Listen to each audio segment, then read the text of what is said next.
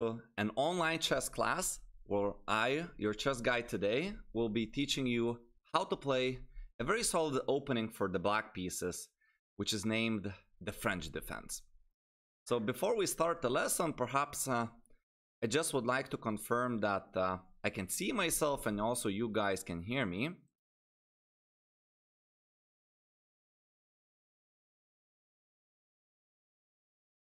All right, I'm pretty sure that uh, I can see myself. I always have one tab open just to make sure the technical uh, parts are, are dealt with and I can also hear myself, which is fantastic. So I would like you to be active uh, as the audience as you always are. Uh, use me as your chess coach. If there are any kind of chess related questions about general training or specific lines that we are gonna be reviewing in the French game, uh, please don't be shy, don't hesitate say hello in the chat. I don't bite and uh, uh, feel more than comfortable of asking questions. I, I like and I love actually to be answering them uh, in as much depth as I can. So let's start at the start. Uh, the story of the French defense. Uh, at least this story was told to me uh, by my first chess coach in uh, my my first chess club and uh, he said uh, that after White played e4, long, long time ago, there was a French soldier um, who was feeling too weak. Uh, he wanted to play e7 to e5, but in the middle of the move, he felt weakness in his hand. And suddenly he accidentally dropped the pawn on the e6 square. And this became known as the French defense. I don't know how how uh, realistic this story really is. It's up for historians to figure this out, if at all it is possible. But I think that uh, to every story there is at least part of um, part of truth out there. And anyway, I, I feel like this is fantastic way to, to, to describe the, the, the story of the French defense. And so the, the goal of the move is similar to the Caro-Kann defense, which would be the move to c6. Um, on the next move, we're trying to fight for the center with the move d5.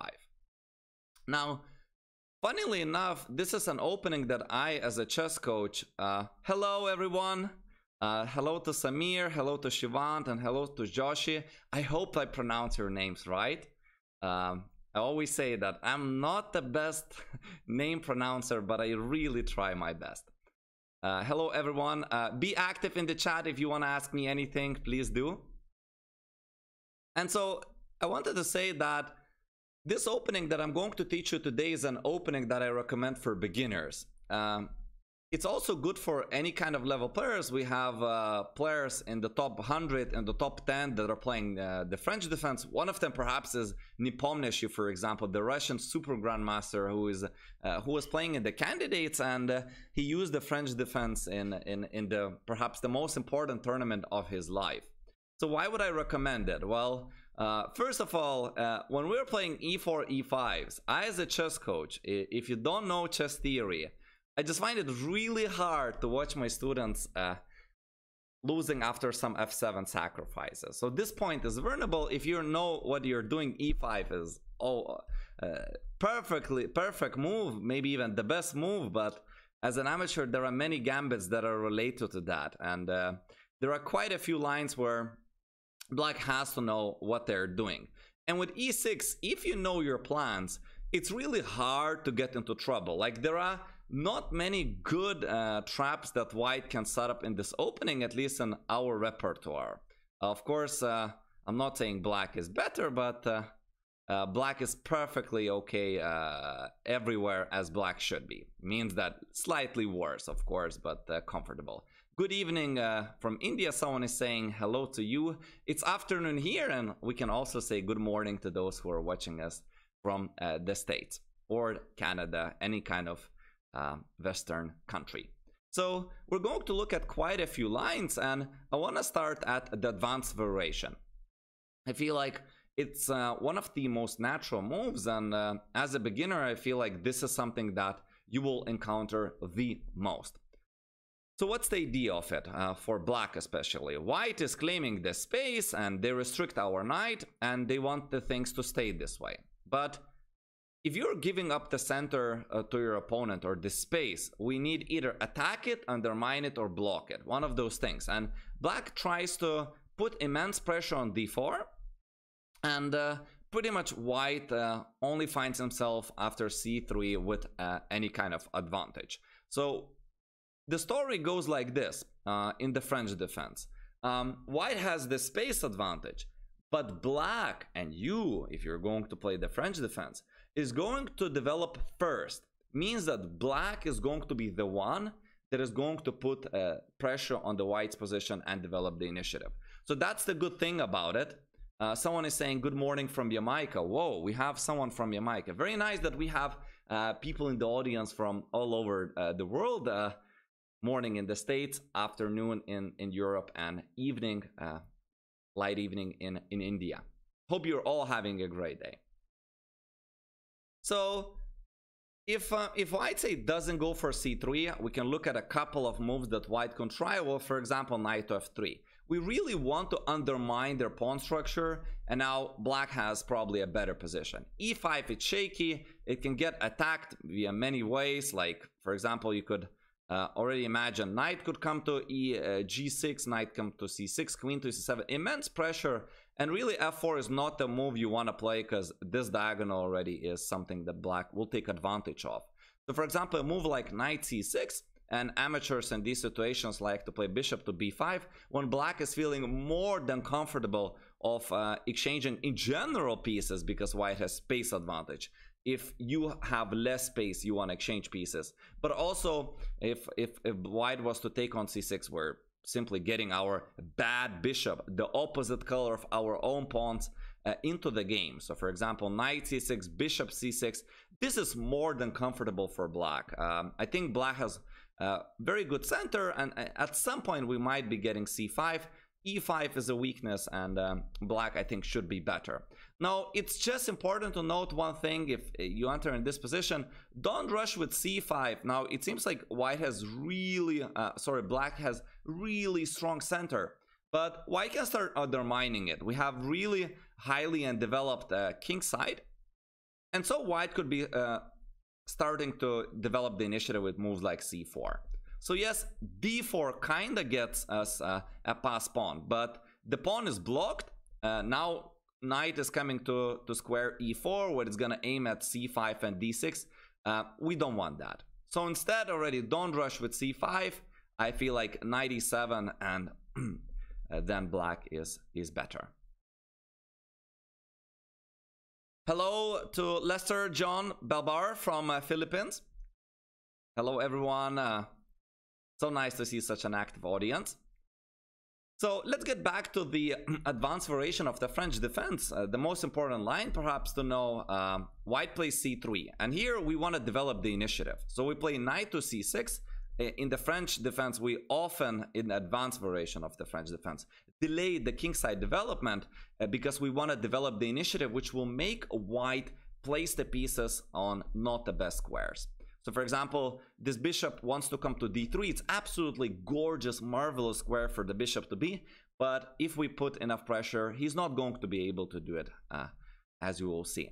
So knight to c6, and we're already questioning the existence of the d4 pawn, knight to f3, and now we're going to make a move queen to b6. So queen is safe here, so we're not bringing uh, the queen to any danger, and the most important aspect of this move is really pressure on the pawn d4 and b2. So a tactic to know as a beginner that if say they develop the bishop to e3, which seems to be very natural, just to guard the pawn on, on d4, then we're able to take on b2 and we're having a winning position.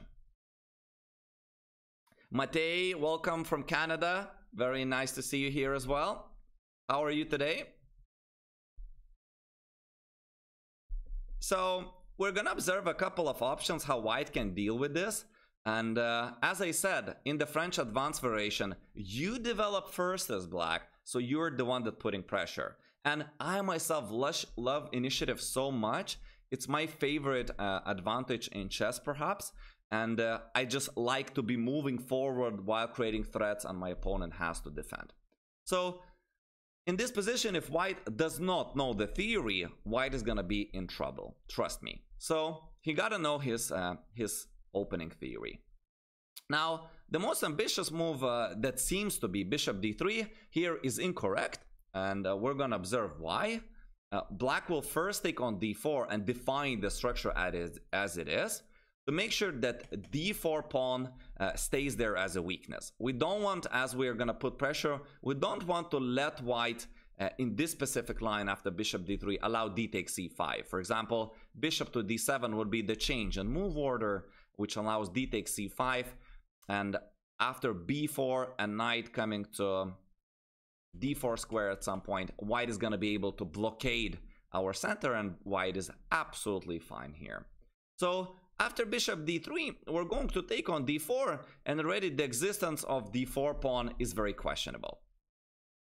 Now, there is a tactic of why we cannot be taking that pawn. Um, for example, knight takes d4, knight takes d4, and queen d4 seems to be losing a pawn for white, but there is this discovered check, which uh, is again a double attack and black would be losing the queen because black's king is jeopardy and also the queen is under attack. So after we define the structure we're playing this move bishop to d7 which in the same line is not gonna allow white that uh, um, discovered attack so for example castles and now we're safe to take that black is safe pawn up with a lot better position so now Again, just to show you, there are no checks that the bishop could land, and so our queen is safe. And of course, if they make moves like bishop c2, which seems to give a, a defender on the d4 pawn, we have already moves like uh, knight to b4 and black develops and continues with the initiative. So again, in this advanced French, as you can see, uh, by delaying the development of the of the king side, uh, we're applying pressure and developing the initiative on the white center, and this way we're forcing white to commit to moves that they do not want. For example, now already white has to play perhaps bishop to e2, or we're gonna look at a3, which is the main line. And bishop e2 is not a square that white is very happy for the bishop. They would want to have it on d3. That's where it's the most active. Looks at h7, at our king perhaps there on the king side, if that's where white is going to castle. And in general, in these positions, if knight ever moves, he wants f4, f5. Because if the center is blocked, we play on the flanks. So after bishop e2, let's just observe how uh, black can get a comfortable position and our repertoire um, takes on d4, takes on d4, again defining that weakness. And now we're playing knight to h6 with the idea of bringing knight to f5 in order to apply the pressure on the d4 square. So again, next move, black has the third attacker and the pawn is only attacked, uh, defended twice. So white is feeling a little bit uh, uh, uncomfortable. So someone is asking if uh, they want to organize an online chess tournament in their organizations. Uh, any suggestion? So from technical point of view, uh, I'm not an expert, but I think in general that's a great idea and your organization should love that. I actually have heard that many firms, many companies in my own country are doing that and people enjoy that so much. You don't have to be a genius in order to play in the chess tournament, just know the moves and I'm sure Gupta that uh, people are going to uh, love it uh, a lot. So really encourage you to, to, to organize that. It's just that from technical point of view of the, the the platform and all that. I'm not an expert on that field. Um, thank you very much for the question, uh, by the way. And everyone who is feeling like they want to ask something, use me as your personal chess coach during these streams. I really enjoy answering all of the questions and just share my own experience and, and knowledge. So in this position, uh, black is coming to f5 uh, with the knight and uh, the problem for white is that if bishop takes h6, which seems to be damaging our pawn structure, there is a move queen takes b2. And now after knight b2, because the rook was in, in, in uh, under attack, we're taking on h6 and we're kind of pawn up. White does have a compensation, but black is a pawn up. So that's the thing with this knight h6 and not allowing bishop takes h6. Now, any attempts like b3 uh, with the ideas of bringing the bishop to b2 and guarding the pawn on d4, also uh, black is fine. Knight f5, say bishop to b2, boom, bishop b4. And now you cannot place the knight on d2 because then you your queen is no longer defending d4 right so it turns out you have to make some kind of king f1 right and now after castles again i can leave you at that right with a heart on the hand you're on the heart right so again fine position. So it turns out that after knight h6 um, there is a move knight to c3 which people play with the idea of after knight f5 playing knight to a4 so as for the moment we cannot take on d4 because the the white's knight is defending that. And so we have to put the queen somewhere for example check bishop to d2 hitting the queen bishop to b4 that's some kind of theory and a bishop to c3 and white finds some kind of control over d4 not dropping that black is also feeling pretty comfortable that so for example b5 continuing the initiative that initiative that we're always referring to in the advanced french for black and if white can get things under control and uh, all things equal, this space advantage is an advantage. But at the same time, black doesn't allow an easy life, right? So for example, a3, bishop takes, knight takes, and b4 continuing the initiative. Uh, this was seen in a couple of games. So as you can see, this advanced variation, um, it's not basically pina coladas for white. Uh, they're feeling under pressure and uh, the correct way here to play is a3, which is not a move you make if you have never seen theory. Uh, again, I, I, believe that those who are familiar with the French defense, yes, a3 might be a natural move, but uh, to others, it's um, it's a very creative, I would say, move. And the idea is to get b4 and expand on the queen side. And then we can place the bishop on b2. So how does change our things? Well, now we have a couple of lines uh, how we could be playing this and first I want to be looking at uh, at c4 um, there's also a move c takes d4 here uh, but it's already inaccurate because in this position white will be getting the knight to c3 so we want to go knight f5 knight to c3 knight f5 again knight to a4 and uh, here uh, white is comfortable so basically after this correct move with a3 there are a couple of ways to play this.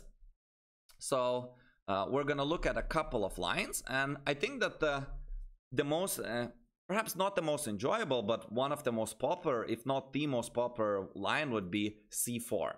Now I have to say that in general, c4 without the inclusion of a3 is a mistake. So for example, if we were to make in general, like let's just imagine something we play, um, okay, h3, like uh, or bishop e2 or something, and c4 then you're always running under b3. And here black is, white is already undermining your space advantage. So this is already a really good position for white. So takes, takes, a rook starts playing, there are possibilities of expanding with c4, and black's advantage is undermined. So only after a3 we can play c4 because they don't have b3. Well, we have this so quote unquote under control.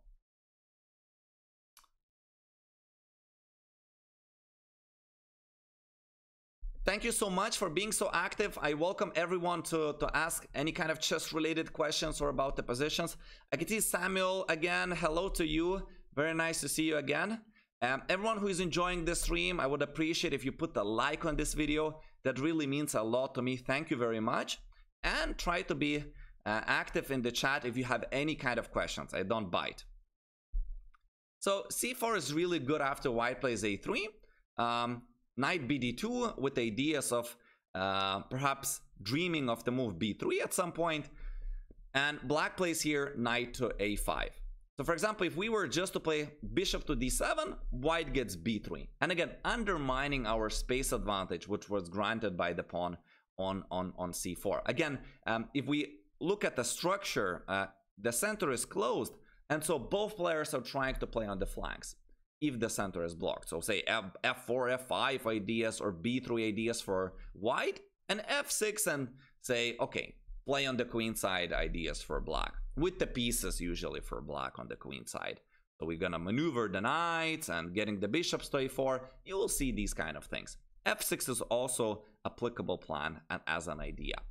So here, um, the typical sac that I want to show you, which is super important to know, after knight g7. Very, very important tactic because it's not really very common um, in other openings. Would be bishop takes c4 here. Mamma mia, what is happening?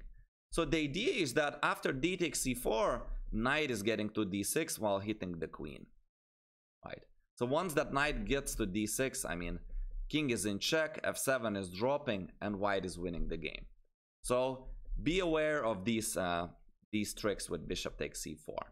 So that's why black plays also knight a5, uh, not allowing any tricks and also stopping b3. So white plays usually bishop e2 and I kind of give you a direction here and we could leave this uh, this variation. Bishop to d7 with usually queenside castles. Black sometimes even wants to get this bishop on a4. That's why we need a knight to get to b6. That's going to be another type of maneuver. So castles, knight e7, rook to b1 is usually played so that uh, knight b3, like prophylaxis against knight b3 so that rook wouldn't get hit. And also this move, of course, supports b3. So we have queen to c7, moving the queen out of the way so that the knight could get there. via c8 a lot of the times. Rook e1, knight c8, and this type of maneuvering. White is also trying to make room for their pieces, opening up the dark square bishop now, and say this would be the go-to starting positions if you're a grandmaster that you could analyze. So black would be playing actually on both flanks. He could castle long, and hope to really put the rook on g8 and go crazy on the king side. Black would also go for plans of, say, bishop a4s and trying to play with these pieces on the queen side and make something out of it. All right, so let's look at another alternative for uh, advanced variation. Um, variation number two, e4, e6, d4, d5, and advanced variation of the French defense. So we would have c5, c3, similar stuff, knight c6 developing and creating that initiative, super important, knight f3, queen b6, and same move a3. So now we're going to take a, different approach, which is going to be knight to h6. So basically the idea is to um, apply that pressure on, uh, on d4 with the knight coming to f5.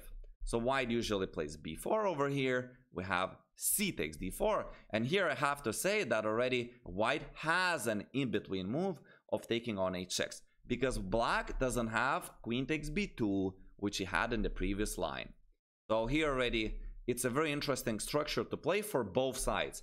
Uh, black is playing, uh, both sides are playing for the wing. Uh, white is better, but really interesting positions to play. Like bishop d7, bishop e2, for example. And uh, black usually castles here and tries to undermine the white center with f6. So that's the go-to plan. Of course, moves like rook g8 and playing on the king side are of course also playable. But most of the people, uh, they just take back, allow this knight f5 and pressure on d4 because white already can play bishop to b2. So bishop on b2 already guards and all of the pieces this d4 enough the third time and black has to come uh, with in, uh, innovative say ideas to continue developing that initiative because statically white has this pawn on e5 which guarantees them space advantage so bishop d7 is very common move in general later we might want to get bishop to b5 after if the knight moves at all and develop the initiative this way but not develop the initiative but exchange our bad bishop uh, if we could exchange the light square bishops that's awesome uh, but it also prepares rook c8 to put it on uh, the open file. So white is not sleeping on that. They're making sense of uh, the position of the knight on f5. And here you could say retreat to e7 or even to h6, which is playable. Again, very interesting lines. Uh, h3 and then f6 and trying to undermine the, the white center like this. If you want, you can invest some time looking at that. That's also an interesting line. But the mainline theory is to go back. So knight to c3, it seems like white has everything under control. Uh, white wants to get knight to a4, and suddenly, boom, black finds this resource again of placing the knight on a5. Uh, you cannot take it due to the pin on the on the b file, and black continues with that same initiative. It felt like already it should have stopped. So white is playing queen c2, and black is getting that knight on an outpost on c4. So this is again one of the uh, po most popular lines in the French defense, and it's absolute theory. Of course, depends on on uh, your level, and uh, perhaps you don't need to know them in so much depth. But I believe that these are interesting positions in general to analyze that boost one overall uh, understanding of the game because um, the, the ideas transposed and one ideas that work in the French defense, they could be applicable in many other lines as well. So here, White kind of gives up the bishop, and that is their good bishop for such a wonderful knight, and then win the c4 pawn. And the idea of blacks is that uh, what they're giving up are these light squares, and so blacks uh, frog the bad bishop becomes a prince and will have a very decent compensation for the pawn. So for example, queen c6 still trying to defend it. And now if we would have time, we would want to get uh, b5. But unfortunately, this d6 check is coming. And it's very nasty because then if king moves, he wants to take on f7. So we kind of have to go knight c8. We lose a pawn. b5 and we're getting to an endgame where uh, black is going to have good compensation for the pawn. So say f3 and knight b6. Look how uh, beautiful a grip uh, black has on these light squares. Pawn down, but um, I feel like black should be also quite comfortable. Um, easier position in general to play for black, but white is a pawn up. So these were the, the most fundamentals of, of the advanced variation, and I'm pretty sure that if you're, uh, let's say, online below uh, 20 something, uh, 2000 rating, then uh, you're good to go with these lines and already feeling very comfortable in these positions. So there is definitely advanced variation is not the only one of playing. So um, there are quite a few other lines that we must check. And uh, we're going to start with very interesting approach, which is uh, the, the Tarrasch. So it would be the knight uh, coming to d2 and perhaps one of again the most popular variations in in chess when playing the french defense so in my um, repertoire for you guys i don't want to drift away from our pawn structures the uh, perhaps one of the main moves if not the, the most popular one would be to play a c5 over here but we're going to play knight f6 and provoke white to play e5 when we're going to find ourselves in very similar structures don't play knight e4 here. After takes takes, this is just not good for black. Let's not play that. Instead, we're going to exactly same structure. We're going to, we're going to try develop very similar initiative on the white center. So that you would be familiar with the pawn structure. And as I said, ideas transpose. The squares for the pieces, the general pawn breaks, and all of those. They're similar of what we have in all of our most of other French variations. So uh, white again plays c3 in order to have this uh, pawn chain that is very solid. Black goes c5. And here white has a couple of moves. So f4 is possible. And we're going to look at similar variations uh, or structure in the in the next uh, variation for white, which is the classical way of playing. And let's just see what happens if white plays solid bishop d3, which is the most popular move in this position. So we're going to follow again with that initiative uh, with knight c6 and trying to apply this pressure on, on the white pawns. And uh, what is interesting with this move knight d2 is that white plays knight e2 so that the other knight could go to f3. And now we have really good defense over d4 so that we would never worry about it like we had to worry as white in the previous variation. So that knight on d2 um, is coming actually is the one that comes to f3 and this knight comes to e2. Again, for super solid position with the pawn on d4, or even maybe in some cases uh, leaving f4, f5 ideas uh, because of the knight on e2.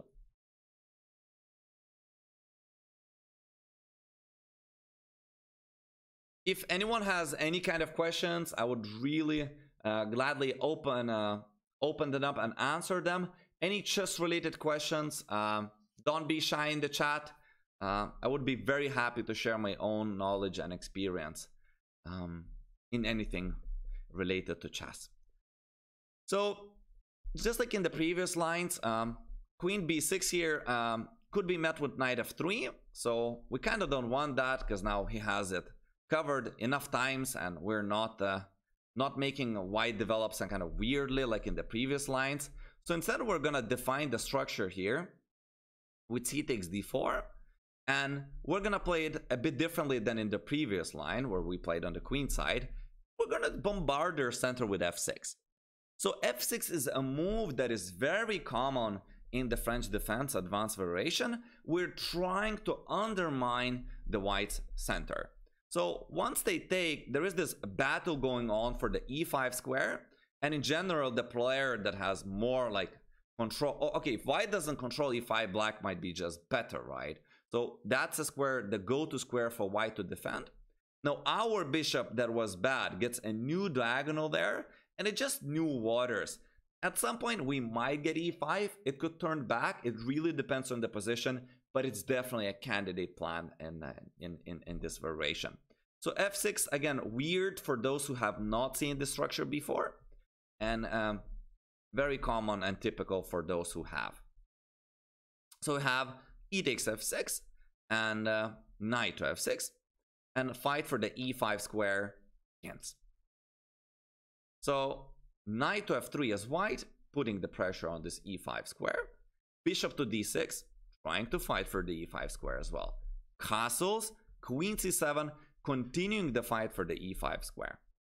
And now white has a very typical plan here um, that is applicable in many different openings, just colors reversed.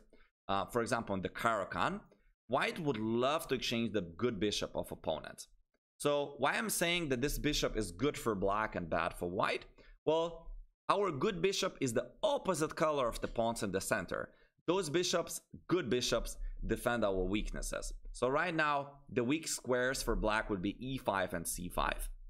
And the weak squares for white would be c4 and c and, and e4. So our d6 bishop and their d3 bishop is the good one. And this bishop only can hope to become an active one. So sometimes bad, bad bishop could be very active piece when it controls a lot of squares.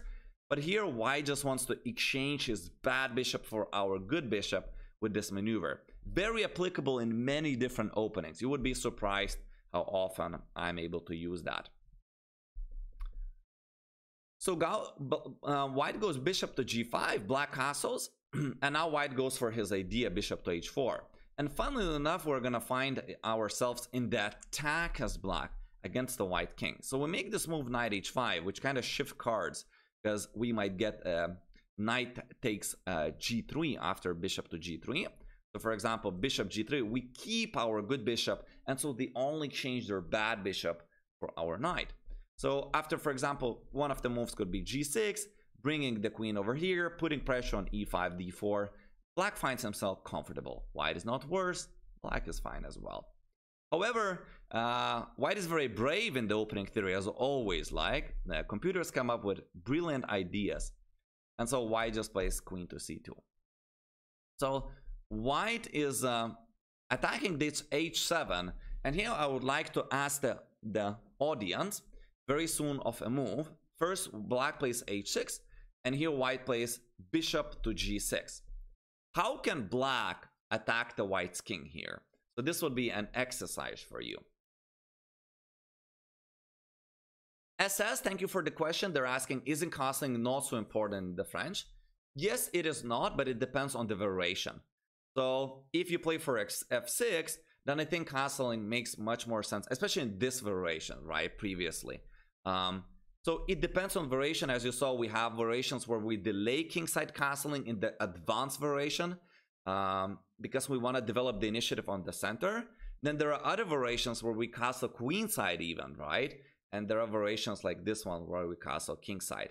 Here, once we open up the, we play f6 and we open up the f file, we just need the rook on f8. I, I think that uh, that's one of the reasons why uh, why black castles so early in this variation. So Samuel is uh, suggesting a very uh, interesting idea, which is absolute theory. And I'm going to bombard you with an interesting theory of variations because that's the go-to line for black. And I, if I decide to play French, uh, occasionally, then uh, I enter myself quite often in this position, to be honest, or something that looks very, very similar. So the idea is to sac the exchange, very typical in the French defense. You're sacrificing material in order to claim that opponent's king is weak. So we're damaging opponent's pawn structure. So essentially the material is less important than king safety, but it depends how much material and how unsafe the king is. So White is saying, well, you sac the exchange, you get compensation, but I can get out of it. So very interesting dynamical battle begins. Uh, black shifts the cards. Black also gets the pawn for uh, for the for the exchange. Bishop takes h2. And here there are a couple of moves, king h1 or king h g2. And now the go-to idea, the go-to move, that is the only move that continues the initiative for black after both king g2 or king h1 would be knight to f4. So the idea is this, that we're attacking g6 first of all, right? Also, of course, if they take, we, we do a discovered attack with, with, um, with our queen. So same thing would happen after opponent would play king to g2 it's just that it comes with a check. So say knight takes f4 and bishop takes f4 or of course if um, if they were to take on h2 then we take on g6 with a check. So they don't have the time most importantly to eat our pawn knight on g6 and so black continues with kingside attack. So king h1 according to the theory is uh, more accurate and just enjoy the dynamics. Knight f4 uh, white is playing knight to g3 it's also possible to take on h2, but as I said, knight g6, and then, for example, queen f7, and black finds himself um, having a huge compensation for, for the exchange. But at least theory suggests that uh, black is better. Bishop to d7, rook, I guess, is coming to f8. d4 is also always under pressure because you cannot develop the knight. And I guess black uh, combined all that, having only one pawn down, one pawn for the exchange, but having these weaknesses as white and weak king, black feels pretty comfortable. So instead of taking really uh, on h2, uh, what in theory white plays uh, is knight to g3, which leaves the d4 unguarded. However, the point is that if we're playing now knight takes d4, uh, then our queen is hanging. So first we have to move our queen out of the way with queen to b6. And here, again, just dynamics and theory goes on and on. Imagine that if you're a grandmaster, if there are any grandmasters in the chat, then uh, that's where the theory starts actually, right? So all this attack. For example, king to h2 already leads to knight takes d4 because queen isn't hanging there. We have knight takes f3 ideas, knight g6. All of these are in the air. So usually white plays rook a to d1 and after bishop d7 game continues, right? So really very interesting attack and if both don't know the theory, it's really fun to play. If someone knows theory, they hold the upper hand, right? So this was um, the Tarrasch defense with knight d2 and one of the most popular uh, variations in it. And now let's go to the um, to the next variation, number four, which is going to be uh, the so-called classical line. So here white is playing knight to c3 instead of knight to d2. Yes, Samuel, you were correct on rook takes f3. Surprise, surprise, yeah? You're always guessing the right moves. So after knight c3, we're again gonna provoke black uh, white to push e5. We don't want them to push us out of the out of our pawn structure. And here there are a couple of ways um, to play this with white. For example, one of the lines could be bishop to g5, uh, when there are many, many ways uh, to play here for black, one of them is just being take here and play bishop e7 one. Okay, white has a little bit more space, but you as black will have a comfortable development. And uh, these are one of the lines that you could analyze and uh, are playable for, for both sides.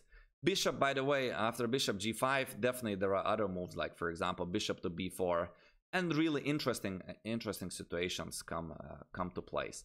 But I think that uh, at least at uh, at the level um, that you are in, the most popular line should be e5. Um, maybe I'm wrong, don't know the statistics, but that's at least mm, um, what I most encounter in my students' games. And here again, we're going for this knight fd7 retreat, c5, and similar pressure. But this time, uh, white can defend it with f4, and that's what I mentioned in the previous lines, that f4 and this structure is something we're going to take a look at the next variation. And now pretty much it's very similar, but white has really good center with more pawns there. But remember that pushing the pawns forward also create weaknesses on the back. So while this is a strength, uh, it also uh, creates a lot of weaknesses in, say, the endgame. Hello, Kabar. How are you doing today? Um, I'm welcoming again everyone to to ask me any kind of chess related questions, uh, use me as your personal chess coach. I would also appreciate if uh, if you would put a like on this video. Uh, that means that you're enjoying the video. Uh, I feel very good about it.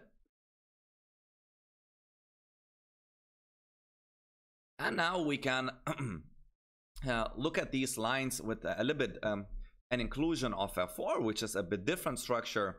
Um, here there are quite a few ways to play for white. First, let's look at um, a little bit uh, rarer line, which has been knight to e2. And here we can, uh, again, f6 uh, is always an idea in all the lines of the French, but here we could already continue again with queen to b6. And um, white has this massive space, but uh, this weaknesses means weaknesses as well. And um, it looks good to the eyeballs, but once you play these positions, Black also has um, his own merits that he is proud of in the positions, as you're going to see. Especially the development of whites. For example, okay, bishop is feeling on c1 very uncomfortable, and how on earth are you going to develop the light square bishop? How you're going to castle? This knight is basically paralyzed to defend d4, right? So it's, it, it's just hard for, for white to, to, to, to develop the pieces, and this is one of the disadvantages that all this mass gives him it's hard to go hold on to it. So we're here we can again play f6, uh, which is a typical idea. Apologies, I didn't want to make d takes e5. That's very bad idea. So white plays a3 with ideas of b4, bishop to e7, say b4, takes, takes, and castles. And it was seen in a couple of Grandmaster games, similar ideas, uh, something we have seen uh, f6 and uh, the play on the queen side and I think that you here can apply similar ideas to the ones you applied in the previous ones. So hello Frode, welcome to the welcome to the chat. I'm very pleased to see you. So many people are joining, very nice. Uh, so this is the the rare line with knight e2. It's just discomfort of having the knight there because it makes the development harsher. Um, so the go-to move is queen bishop e3 and here there are many, many moves that we could do. Uh, we could play the typical uh, queen b6. Perhaps a6 is uh, the, the, the, line that I like to play. Um, the move itself is uh, useful for many, many, many reasons.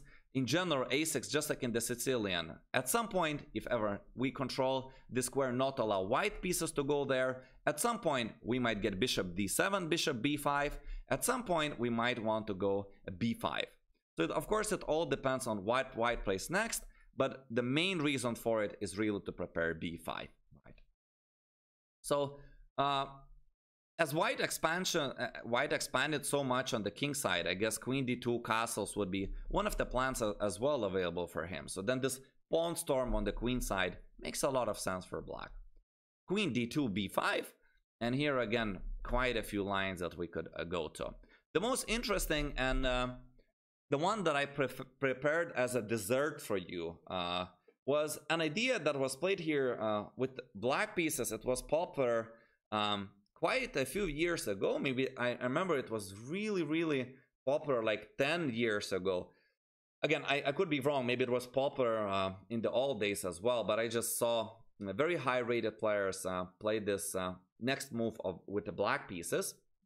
And it's a crazy idea that uh, not everyone uh, would find uh, even natural. Um, I'm gonna just show it to you. I don't think I can give this to you as an exercise, but the move is uh, g5. And this is, again, if you won't like this as black, you don't have to, there are, to play this. There are alternatives that are calm. And g5, just look at that. Um, the idea is pretty much clear. We're undermining their center. So if say they take here, d4 gets weaker. If you take with the knight, d4 gets weaker. And altogether, we're just undermining their center from the side because center is kind of locked, right? And we're questioning the existence of how stable the center is. So someone says they like the, uh, the, uh, the exchange variation. I'm going to show you how to get fighting positions with the exchange variation, all right? I hope I'm gonna leave some time for that. So that means we have to hurry with this line. Don't worry, I, I will take care of you. So I guess uh, G5 here um, is the sharpest variation that we could get to. I can just show you some theory here takes g5 means takes on d4, right? We're undermining their center. And so after knight takes d4 or bishop takes, uh, we take the pawn already on e5, which lost protection. And say bishop e2, bishop g7, castles, castle, very interesting position arise. Very interesting position to play.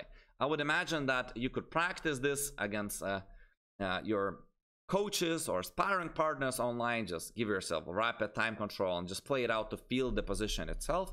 If you're at a higher level enough to get to these positions, if not, of course, uh, don't need because uh, it, it won't bring you realistic practical benefits perhaps but knowing these ideas and analyzing them just i believe also boosts your overall understanding of chess. So that just knowing and considering a move like g5 and any similar structure so that it would be of, on your list of candidate moves already is quite something.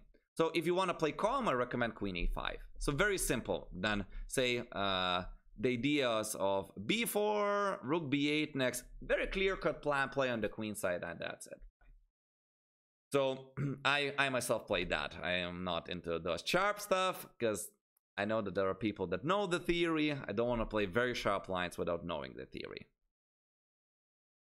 So uh, though someone is asking, can I explain the basics again? Um, I have to say that this video, this whole stream, is going to be on the YouTube channel of ours or of Chess on Chess24 and you will be able to rewatch it all. And I started at the basics. You can even rewind the stream and go back to there. So it's gonna be there. Don't worry if you missed the, the start. So there is a question about bishop to c8. As always, just know in, in French there are uh, there are like these ideas, right? So gonna it depends on what white plays, and I of give you one destination, right? So in general, these are the ideas, right? Uh, if we could succeed with b4 and a5, bishop could get to a6. Again, depends on what white plays, and maybe not with the lion on a3, right? Now, the bishop could sometimes stay on b7. The bishop could go to d7 and run to b5. Should I make it red, right? So that that those are also ways of developing the bishop. So for example, if you get the pawn to b4 and then the knight moves, say knight to b6, this is also make it yellow maybe, yeah, so that you could see bishop d7, bishop b5. Um, the last way of the developing the bishop in the French would be f6, bishop d7, bishop e8, bishop here or here. So these are the ideas of how to take care of the bishop. And you see on which one is applicable, right? It depends on what place. If he prevents one, then you go for the other. But I feel like every time you get and commit to a bad piece, you got to know um, how to basically take uh, advantage and how to develop it. So in in theory most of the time okay a3 is played and here i just recommend uh, queen uh, queen a5 and uh, and and b4 uh well, there are many people that play also d takes c5 just relieving the tension. So here would have takes and takes and very simple play. Here i i feel like black is already better right? So for example queen f2 on ad and queen b6 and black again plays uh, b4 Similar to, to the question of Sol Mio, uh, again, maybe you could play a5 and uh, and the bishop to a4, bishop, I'm sorry, to a6, right? Rook to b8, castles, and typical play black is comfortable. So I'm glad we have some time for the exchange variation as well. Um, is it exchange variation? All right, so so first of all, how to play the exchange variation for the win, okay? Because that's the question. And then I will give you, if you don't want to play for the win, if you just want to have solid position. Again, I'm not saying that you realistically are gonna win the games, right? But there has to be an attempt of somehow playing this with an imbalance. So this variation is, I couldn't say completely harmless. How can you say that something is drawish when only one pawn has been exchanged, right? So if computer makes a draw here easily, that doesn't mean it is a draw. And I'm gonna give you a few lines to create here an imbalance. By the way, uh, if anyone again has questions, please go ahead and ask. And those who just joined, uh, thank you very much for putting likes on the video. I appreciate that a lot. And so, knight f3 here is the most popular line. Of course, there are other moves like it doesn't matter much, but bishop d3 could be played. But I believe knight f3 is the go-to most popular move here to make. And very early on, we're going to make an um, imbalance. We're going to play bishop to d6. So knight f3 kind of prepares c4, which we allow. Now, let's take a look first at what happens if they play bishop to d3. Let's play knight e7. So we're creating already an imbalance. We're making sense that this knight on f3 is, say, worse than the knight on e7. What are the arguments? Our bishop could go to f5, our knight could go to f5, and we're not running into any kind of pins. There are drawbacks, I get it, right? Less active, less control over e4, whatever is relevant, right? But knight to e7 is a very interesting move that just shows the first sign that black is going to create some kind of imbalance, and imbalances, as you know, make it uh, easier to play for the win. So, castles, castles, bishop g5, uh, and uh, an attempt again to perhaps pin and even exchange their bad bishop for our good bishop on d6. So we're kicking him out. Bishop h4, and now we exchange his good bishop with bishop to f5, right? So here we should be feeling pretty comfortable. So for example, bishop to g3, takes, takes, knight to c6, and black finds himself without much problems. For example, a couple of games have seen this. c3, queen d7, queen to c2, we have to take, take, and knight f5, we put the rook on e8, and uh, and that's the story, right? I have to say one interesting thing in the advance uh, in, in the exchange variation that it feels like there is a huge fight for the e file going on. But usually two rooks on the e file here are not good because the invasion squares are taken care of. So like if white doubles the rooks on the e file somehow, he can never invade because this square is always covered by my minor piece or most of the time. So only one rook belongs on the e file is very counterintuitive, right? Other rook belongs a lot of the time somewhere else. Now, um, so the go-to, of, of course, there are other moves like knight to c3, then we create an imbalance with c6. So he wants to put the knight on c3, we're gonna put the knight on c6. So bishop d3 and knight e7 again with ideas of bishop f5, knight f5 in some case. I like bishop f5 more. Um, and the absolute uh, critical is c4. That's what this knight f3 is aimed at playing knight f3. So here again we have an imbalance because we're going to play knight to f6 and we're welcoming white to play c5. Interesting positions arise, but basically we're going to play this with pawn to b6 and try to ask the existence of the and safety of the c5 pawn. For example, bishop to e7, bishop d3, and then b6. b4, of course, runs into a5. So, very typical idea that if a3 um, this is pinned and it cannot be taken back, that being the basic point. So I guess that after b60, one of the moves is, is to take one. I believe again black is comfortable and perhaps I even pick black as you get c5 ideas. So um, knight c3 is usually played, after which we castle and we temporarily sac the pawn. But please take in mind that uh, we're gonna win this back and they're gonna play the isolated pawn, which is neither good or bad. I'm not against isolated pawn. In fact, I love isolated pawn, right? But I believe that black also feeling is feeling comfortable in this isolated pawn. This should be him here, right? The, the, the arrow. All right, let me remove that. So black is also having a stable uh, grip on the blockading square of that isolated pawn, uh, d5, and so we're feeling comfortable. For example, knight bd7, and say if they're gonna play bishop to g5 we have to go for it. So h6 bishop h4 knight b6 and now we're attacking this e4 pawn. And it's just hard to hold on to two double pawns like that right? So for example i'm pinning ourselves and there is too much pressure on the square and we're gonna win it back and play the isolated pawn. So instead they could also play bishop e2 without the pin. Then we're gonna prevent the pin uh, with h6 and say castles knight b6 and winning the pawn back again. So for example, like this. And we're having really good control over d5.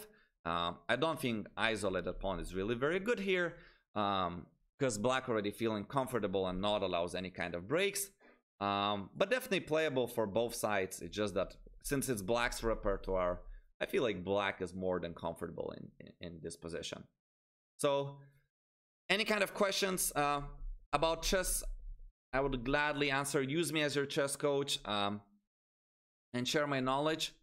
We still have a couple of minutes, so don't worry, I don't bite, yeah?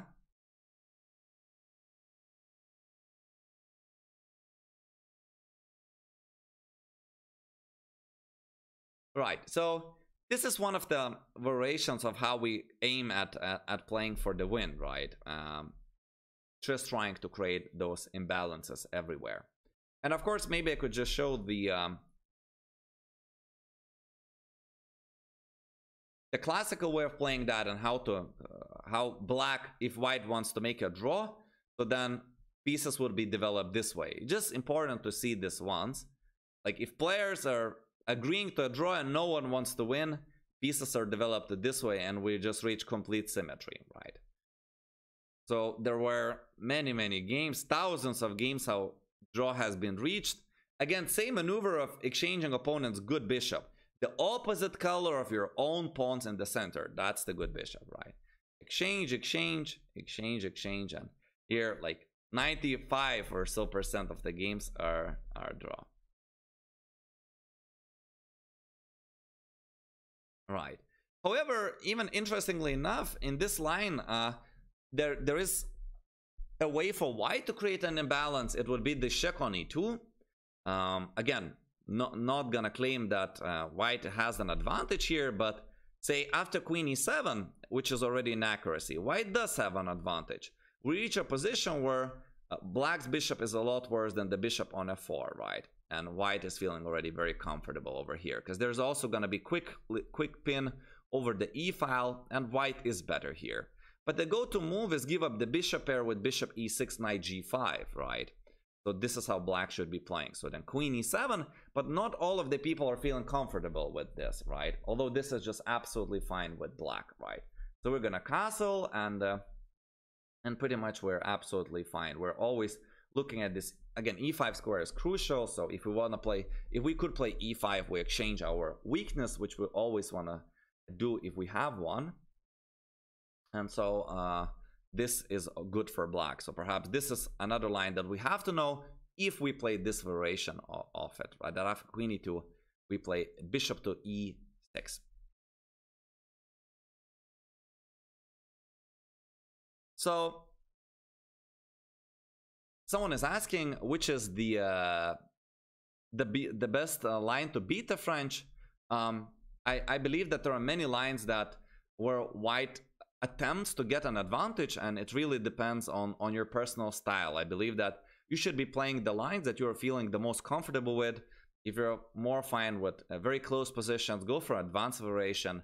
If you're if you want a little bit more open game perhaps or attempt to get it right um, you could be going for the say knight c3 and if they play knight f6 then we could be playing bishop g5 i know that that um, uh, there are quite a few lines in general to play these for uh, for for both sides, right? We have, for example, Bishop B4 here, and I know that in the correspondent chess, my friend who's playing a lot of correspondent chess, he said that here White has some kind of advantage, uh, but um, we're not computers, and so um, we shouldn't be looking a lot and trusting uh, the computers. Uh, at least they shouldn't influence um, which variations we play. In fact, many coaches advocate for choosing the second, the third, and the fourth even line that was suggested by the computer for many reasons. You uh, get to more comfortable, perhaps, positions that fit your style more, you feel them more natural, you know your plans, they're not messy, and uh, there are many reasons not to follow absolute first choice or um, even following what, for example, the world champion is playing thank you everyone for uh, for being so active today. It was really a pleasure to to be teaching you uh, today this French defense. I hope you can successfully implement this into your game. Um, thanks again for um, for all the compliments. Um, those who enjoyed the video, I would appreciate if you do put a like on this video. Uh, that means that you like the video and the content. Uh, I will see you all on, on Tuesday for another lesson. And I'm wishing you uh, to stay healthy, continue loving the game, and play chess. Goodbye, my friends. All right, see you next time.